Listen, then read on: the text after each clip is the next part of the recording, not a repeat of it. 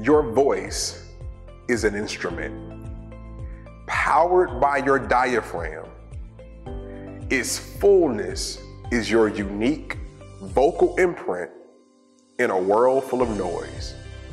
Just like a thumbprint, your vocal print is your unique inflection, pace, fullness, and stressing of syllables that makes hearing you different from hearing anybody else. So I want to encourage you to master your own voice. It starts, first of all, with appreciating your unique tonality. Uh, our voices as instruments collectively make us all like a marching band or an orchestra. What you'll notice in a band is that not all instruments sound the same. Tubas have a deeper sound, flutes have a lighter sound. Saxophones sound one way, clarinets sound another.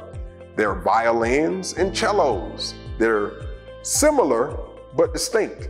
And so appreciate the tonality of your unique vocal instrument.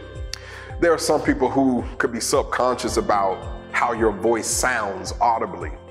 And you may envy the deep, full baritone of some other world renowned speakers or voiceover uh, kings like James Earl Jones or Morgan Freeman. You may wish you sound more interesting.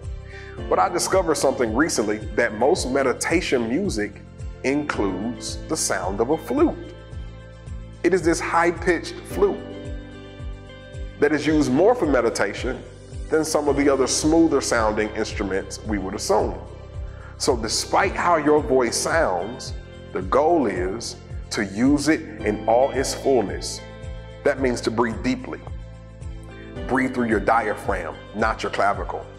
Use it in all its fullness with your unique pacing and your unique inflection. And you'll notice that even if your tone gives away or betrays that you have a, a certain sound from a certain region of the world, that it'll still be enjoyable and people will love the sound of your unique vocal instrument.